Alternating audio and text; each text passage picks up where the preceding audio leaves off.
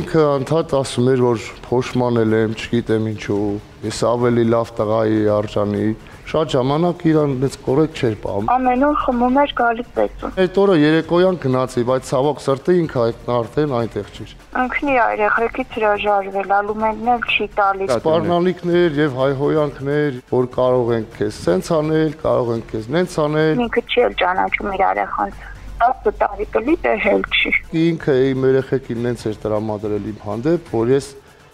ես չգիտեմ ով եմ, հրեշ եմ իրենց համար։ Կաշկանդված մտքերով դիտեք այսօր երեկոյան կիսաբաց լուսամուտներից ներս։ Մեր բոլոր նոր թողարկումները դիտեք կիսաբաց լուսամուտներ.com կայքում։